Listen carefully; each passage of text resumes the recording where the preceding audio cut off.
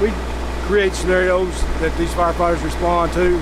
Uh, actual car accidents, fire, uh, fires, barn fires. You're responding to an MVA. Uh, when you get on scene, you will need to res- you need to spot your apparatus in such a fashion that you will protect the scene, uh, the responders, the victims, and all that. You Remember, we talked about uh, assuming an angular position Right. when you approach the scene. Okay. You know, we try to teach them how the best way to drive, calm down, slow down. Uh, we also teach that their emergency they're going to is not their emergency. You're going to help somebody. If we don't get there safely, how can we help them? So that's what we're trying to teach them. Uh, you're in the driver's seat. You have windows that go all the way around that you look out of, and make sure you have to clear your intersections. I mean, it's just like a scenario of driving a fire truck to an actual call. It's pretty realistic. It's pretty realistic. I mean, the the graphics look more like a video game, but as far as the steering wise and how people react to you on this is very true to real life. So how'd you do? I wrecked. Uh, didn't clear one intersection. Sideswiped a Jeep pretty good. Broke the front window out of my fire truck. We put it in for our 40-hour in-service this year. Uh, as you can see, uh, it's a th 3D screen here, so it gives us all of our guys um, a chance to actually get in and drive to see what kind of skills that they would need to work on and do. Uh, it was really hard to get this program because so many departments are wanting it. How did you hear about it? Uh, I went to the fire academy and seen it, Okay. and then I just brought it back to our department to use for our, like I said, our in-service training. And uh, They all it's- like it? Oh, it's it's been awesome. It- It's been awesome. We've had it here for three days, and it was a privilege. I hope to hope to get it here again. An SK3 law came about in, in 2006 where we as emergency responders have to res- have two hours training per year.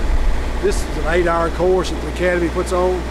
She was a young lady who was killed in Chattanooga and uh, by her death and all their, they went to the state legislature and, and they got a law passed that all emergency responders have to have training.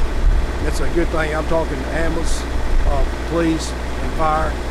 And if you look over here, at this plaque in 2014, uh, that Gus Los Loslobin died in responding to a structure fire. We made that plaque in honor of him. He was from Hardin County, Savannah, Tennessee.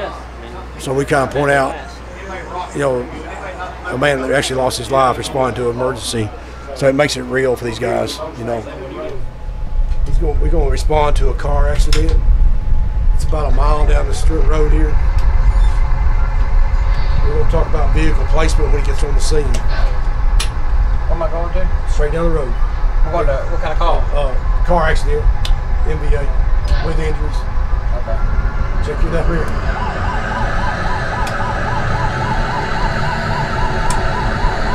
You'll notice his head is always looking at the swivel. Look at all the stuff that come out in front of him.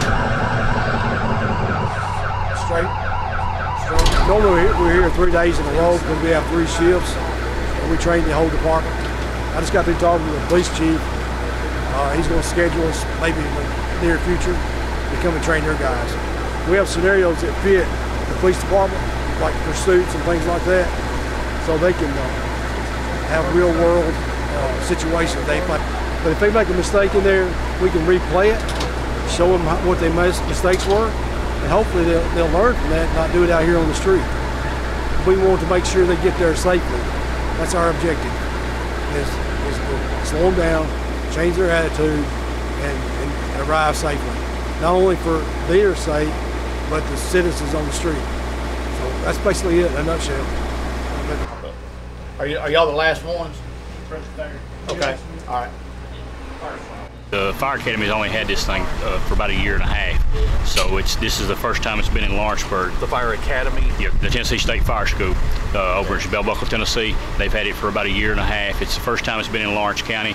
Uh, we have all of our full-time personnel going through it for driver safety.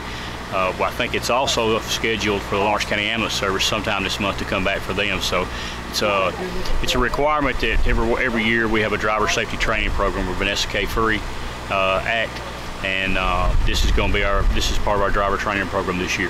Have you done in this? I haven't actually been in there yet. That's, I'm up in the next few people to go in. So it'll be interesting. Watch out for Mario. He'll get you.